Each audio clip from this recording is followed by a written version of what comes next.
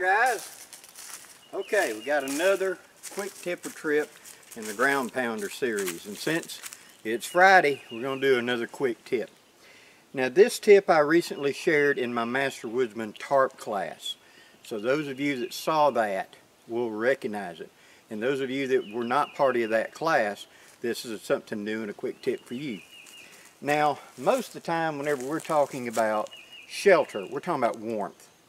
The vast majority of things that are talking of shelter is we're dealing with how it's cold and I got to get this, or storms coming and I have to keep from getting wet. And those are perfectly viable. But there's another time you need shelter, and that's in the summertime. Everyone that goes hiking, camping, outdoorsing needs to know how to recognize the symptoms of heat exhaustion and heat stroke. Now heat exhaustion, your sweating is starting to get less and less. You're overheating. You're short of breath. You feel like a tight headache. You've got irritability and etc. And it doesn't seem to be. No matter how much water you're chugging while you're walking, it doesn't seem to be enough. That's your body warning you. You need to shut down and let us catch up.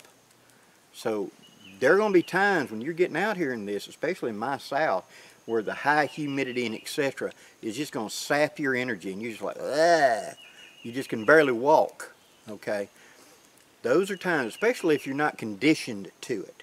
We live in an air-conditioned world, you know, we get out of our air-conditioned house, get into our air-conditioned car, go to our air-conditioned jobs. And the vast majority of us are not conditioned to suddenly be out in this hot environment. And you need to adapt to it. So I tell people if you're going to plan on doing this long hike in the summer, you need to start two or three weeks before exposing yourself to the climate long term every day and getting yourself used to it. Because that sudden abrupt change from going from we're staying around 70 to 95 and 85% humidity will put you on the ground in a hurry, no matter what condition you're in. You have to be set up for it. So what's today's tip or trick? That's a, it's a summer heat shelter. Now let's say I'm out and I'm walking. Now I'm in deep forest right now. But what if I wasn't? What if I was in broken cover? Or perhaps even someplace of just pines and things where I have shadow but not good shade. I'm in a mix here of broadleaf hardwood and pine. So I've got shade right here. But what if that wasn't true and I needed to put up a shade because I've reached, I need to stop. I don't need to go on another half hour to find. I need to stop. Okay. I need to be able to put up a shelter quickly. So let's deal with that. And that's a something to prevent overheating. It's a shade to prevent overheating. So we're going to make a, a half, or sometimes, or what I prefer to call now, a split diamond. And I was looking at this recently at my gathering. Uh, the Fuel the Fire crowd, JJ, uh, Morrison was show, Jonathan Morrison was showing his class and one of the things he demonstrated was the half diamond is a way to care for a patient. When you're bringing them out of the, uh, a wilderness rescue it's a way you can set it up quickly to get them warm and be able to still see and treat your patient. Well that sparked a thought because I've seen this used and I did a video a while back showing how to do a, a double tarp in order to prevent heating to prevent UV so let's do that, but we're going to do it like we were doing it on the trail, and we're going to do it with our poncho right quick. So let's get set up. Okay, first thing we're going to do is we're going to drop our pack. already got my poncho out from the quick grab area. I put it in right back here. Flipping it around. Inside the flap, I've got my shelter kit. Now, a lot of people know this for carrying a M16 cleaning kit. No Alice set. A lot of people don't realize that it will carry tent stakes real well. Those aluminum tent stakes. Now these, and they're in there pretty tight now, I ain't gonna lie to you. They come out pretty good. I like these. They're cheap, they're easy. But remember I talked about how that top hurts your hand? Well, you need a palm saver. And the palm saver I'm going to be using is a U shotgun shell. It goes over the top and I got something I can put my hand on and shove it in the dirt without having to cut my hand up on that edge. The other thing is, in the little accessory packet up here, that's where I keep a piece of 550 paracord daisy chained up to go around the tree and a piece of bank line set up is a quick line so I can set up in many different configurations. So let's get started. I will need a grand total of three stakes. I carry 10 stakes in here. So I got one, two, three. Velcro back, put the center snap, put it back on the pack. Okay, this is going to be the tree I'm going to tie on to right there. I'm going to take the pack and put it right there. It's me a lazy back and me be able to lean back on once I get my shelter set up.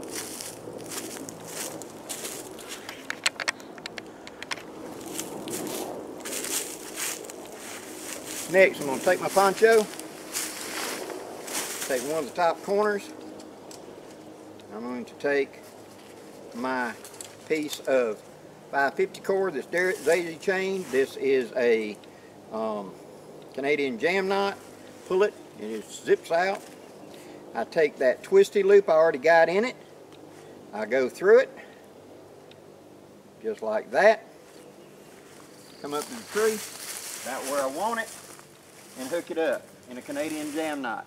Let's just go around the tree, go through the loop, pull the other end through that loop, like that, cinch it up, pull it to the height that I want, and cinch it up.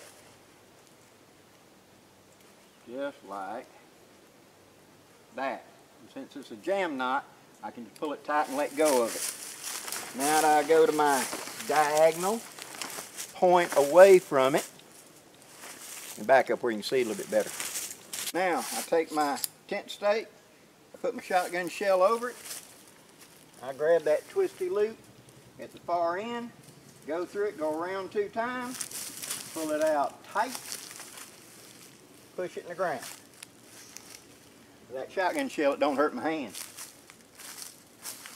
Now I take like I was going to be doing a diamond, I take the far side, I'm going to put that stake through that loop, give it about two twists to lock it in place, and I'm going to pull it out with that shotgun shell on top, like that.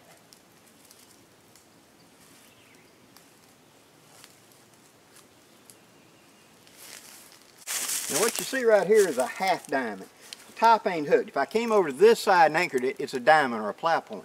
But I'm not. I'm going to be in this. But I want more sunproofing. I want to make a double roof. So I'm going to take that top layer now that would normally be pulled over here to become a diamond, and I'm going to pull it that way to create another top.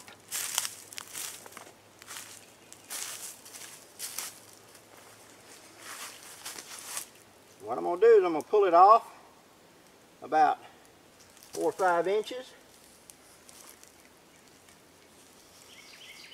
Stake it down, just like that. Now, let me give you a close-up of that and show you what I've done. Now by pulling this one out further, this is the one that I'm actually going to be underneath, and this one's higher up. What's happening is the sun's going to come down and the sun's going to hit this. When it does, it's going to heat up this surface. And as it does, it's going to, by convection, transmit heat. But since this surface and this surface are separate from one another, this one will heat up and a convective air current is going to come down here and fly up. Heat rises, so it's going to rise on the inside, sucking cool air underneath to flow up. So this acts like a heat shield it's going to absorb more heat, making this shade below it much cooler. Okay, here's another look. See through here is an open space. The solar heat's going to heat this up. This is going to be catching some UV radiation, but not a lot. As that UV radiation passes through to this side, it's been greatly reduced.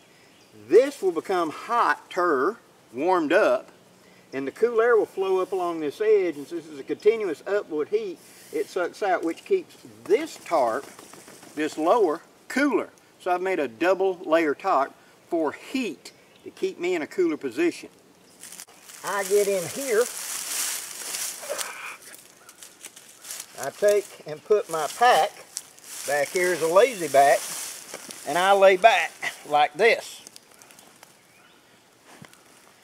This would then be my sunblock. Of course, I got the sun coming from this way now, but I wanted to set it up where you could see it more easily. But I can lean back, and I would have a sunshade right here that's going to greatly improve my cooling. This would block UV sun radiation better than just a single tarp or a single poncho. The double layer allows it to have a convection current and help me insulate better. So this would make a better sun shield. This would help me. I can lay down, I can be drinking my fluids, and I can be cool and out in the open. Notice there's plenty of air around me, so I'm not in a, a tight space. Plus, as that heats up, it's going to form a convective current. that's going to suck air underneath, so I get a little bit of air moving around me. That's a big advantage. So for today, today's ground pounder tip or trick, it's the split diamond. It's a trick to use in the height of summer when you're hot I need to take shade and I can't get a good shade. I may have, you know, I'm around pines or broken where I need to create a shade. And a single layer of tarp or poncho does okay, but it is not as good as a double layer because of long wave UV radiation penetrates that. And you'll know it anytime you put up, let's say a poncho up over you in bright sun over a hammock or something, you feel like you're laying out in the sun because that poncho is not that high of a UV blocker. Now there are some tarps that have a much higher UV rating and therefore would be much better at blocking the warmth from the sun.